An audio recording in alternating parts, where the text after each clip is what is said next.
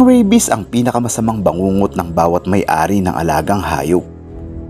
Kahit na ang rabies sa mga aso at pusa ay hindi na isang pangkaraniwang problema, maaari pa rin itong mangyari, lalo na sa mga aso na hindi nabakunahan.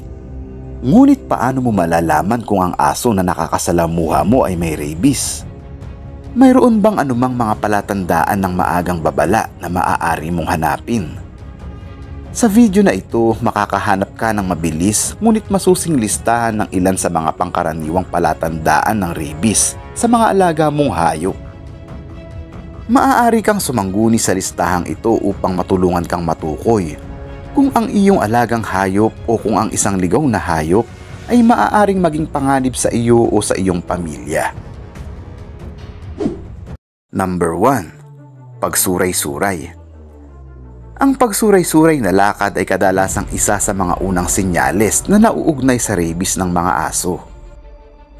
Posible na ang sintomas na ito ay maaaring mapagkamalan para sa iba pang mga problema sa kalusugan.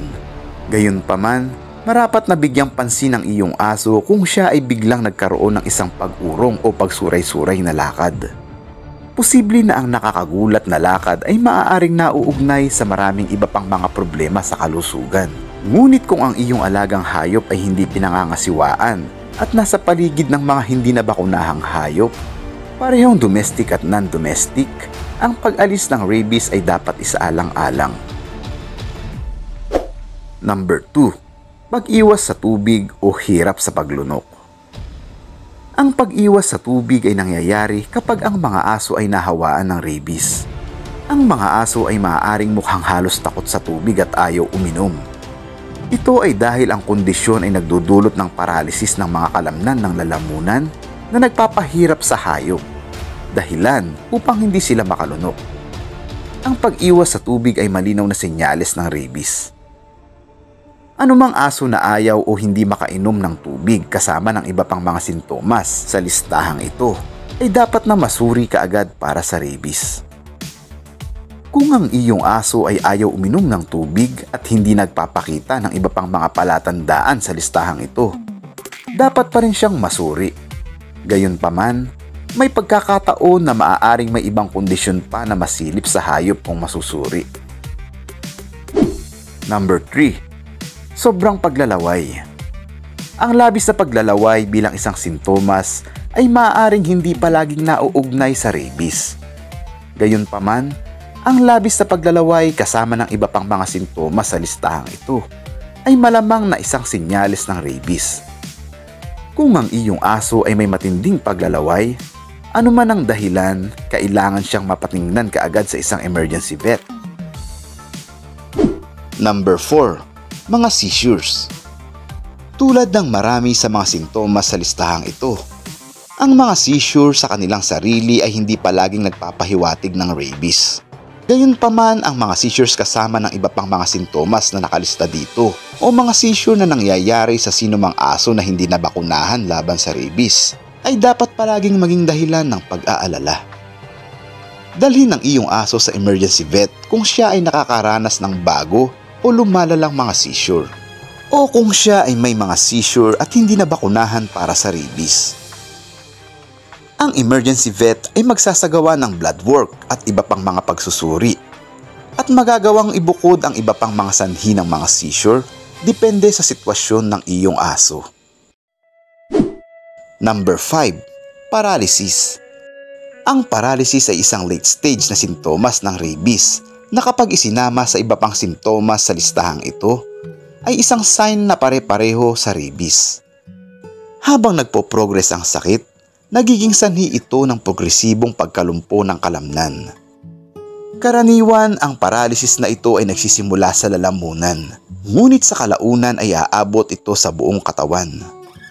Ang paralysis ay isang malubhang sintomas anuman ang pinagbabatayan ng dahilan. Gayunpaman, sa mga aso na hindi nabakunahan para sa rabies, ito ay isang nakakabahala na senyales at hindi dapat baliwalain pumunta ka agad sa emergency vet kung ang iyong aso ay nagpapakita ng mga palatandaan ng paralysis. Number 6. Pagbabago sa ugali Isa sa pinakakilalang sintomas ng rabies ay isa rin sa pinakakaraniwan. Anumang pagbabago sa pag-uugali sa isang aso na nalantad sa rabies ay dapat ituring bilang isang sintomas. Kung ang iyong aso ay nalantad sa rabies at biglang naging agresibo, natatakot, o kahit na sobrang clingy, pumunta sa emergency vet para sa diagnosis para sa karagdagang mga rekomendasyon. Ang mga pagbabago sa pag-uugali sa isang aso na may rabies ay maaaring maging lubhang mapanganib. Ang mga pagbabagong ito ay maaaring maging sanhi ng iyong aso na maging agresibo at subukang kumagat. Kung ang aso ay may rabies at kumagat ng ibang hayop o tao, ang impeksyon ng rabies ay napakadaling maipasa mula sa nahawa ang aso patungo sa target. Kung mapapansin mo ang alinman sa mga sintomas na ito sa iyong aso, o kung makatagpo ka ng hayop na nagpapakita ng mga palatandaang ito ng rabies, huwag maghintay na gumawa ng isang aksyon tungkol dito. Kung mas maaga kang tumugon sa pagkakalantad sa rabies, mas maliit ang posibilidad na ikaw mismo ang makakuha ng sakit. Kung ang iyong alagang hayop ay nagpapakita ng mga sintomas ng rabies, malamang nahuli na para tumulong. Ang karamihan ng mga aso na may mga sintomas ng rabies ay kailangang ma-euthanize kaagad upang maiwasan ang pagkalat ng lubhang mapanganib na sakit na ito. Pinakamahalaga pa rin ang kaligtasan ng bawat isa, kaya't importante ang may kaalaman tungkol dito. Thank you very much mga katrops. May nais ka bang ibahagi na kaalaman tungkol sa video na ito? Just comment down below sa ating comment section. Mag-iwan ka na rin ng thumbs up dyan. At kung bago ka pa lang sa channel na ito o kung hindi ka pa nakakapag-subscribe, i-click lang ang subscribe and bell notification para lagi kang updated sa mga susunod pa nating mga videos na i-upload. Hanggang sa muli mga katrops!